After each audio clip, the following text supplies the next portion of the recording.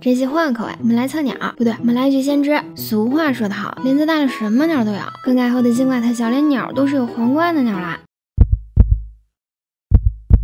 溜溜啦！然而我方队友坚如磐石，稳如泰山。我们趁机让是追赶迷之自信的队友时，再回去接着盘点机。嗯。万万没想到，对方还是个见一个爱一个的小伙计。那我们就利用这个机会来蹭鸟好啦！在成功躲过一招后，对方也不甘示弱，紧接着又是一记龙虾式打法。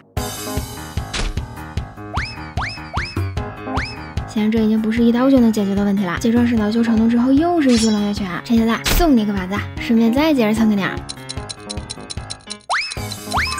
见好就收，溜溜啦！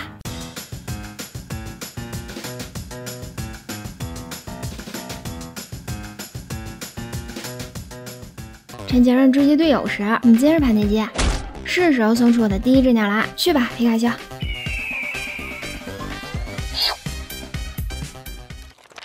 然而就在剩下两台机时，魔术师还是倒地了。我们火速赶往现场，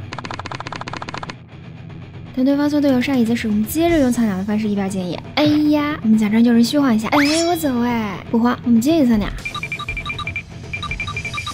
眼看队友即将败血，我们直接用鸟扛到救人。现在赶紧救下队友，让队友再次倒地。我们继续找机会救人。随即我方翠花在扛下一刀后，及时救下队友。我们配合队友再送一只鸟。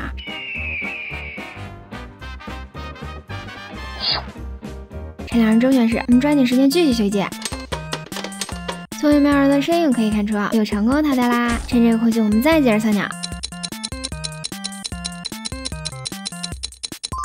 告辞。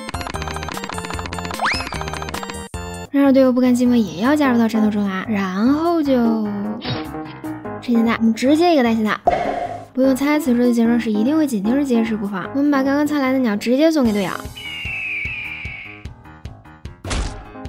嘿嘿，这种极限送鸟的操作你们学会了吗？虽然队友还是被送上椅子，但就有三人成功逃脱。再见。